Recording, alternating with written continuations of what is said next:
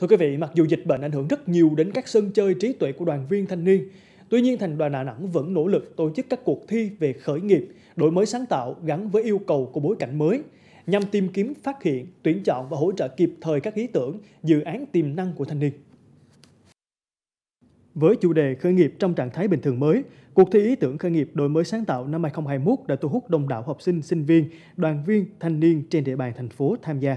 Cuộc thi khuyến khích các ý tưởng dự án dự thi đưa ra sáng kiến giải quyết các vấn đề xã hội mà dịch Covid-19 gây ra, dựa trên giải quyết một trong năm vấn đề trọng tâm gồm giáo dục, sức khỏe, thông tin, y tế, kinh tế. Trải qua vòng sơ khảo, ban tổ chức đã nhận hơn 60 dự án, trong đó có nhiều dự án nổi bật, có tính ứng dụng cao như tăng cường tính tương tác trong học tập, hỗ trợ các nhân viên y tế, bệnh nhân COVID-19 và sức khỏe cộng đồng, hỗ trợ sàng lọc và quảng bá thông tin, phát triển các sản phẩm phù hợp với nền kinh tế số.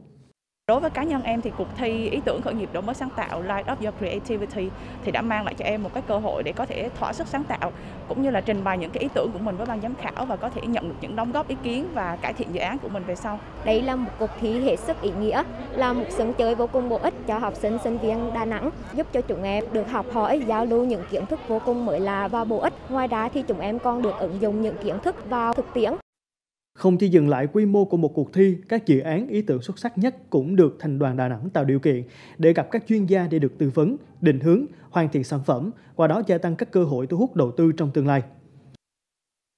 Để phát triển được cái phong trào khởi nghiệp đổi mới sáng tạo này thì à, tôi nghĩ là à, chúng ta nên hỗ trợ ngay từ các ý tưởng ban đầu. Tức, tức là ngay từ khi ý tưởng rất là còn sơ khai chúng ta sẽ ươm mầm những cái, cái ý tưởng này và à, dìu họ từ cái ý tưởng đến cái à, sau này trở thành những cái dự án khởi nghiệp. Và đây chính các bạn chính là một trong những cái nhân tố để phát triển cái hệ sinh thái khởi nghiệp đổi mới sáng tạo của thành phố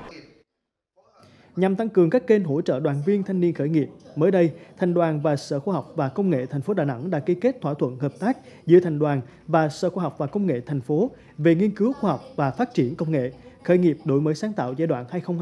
2022-2025. Cùng với sự đồng hành của Sở Khoa học và Công nghệ thành phố, Thành đoàn Đà Nẵng kỳ vọng sẽ hỗ trợ tích cực, hiệu quả hơn về chuyên môn cho các dự án, ý tưởng khởi nghiệp, đổi mới sáng tạo của đoàn viên thanh niên.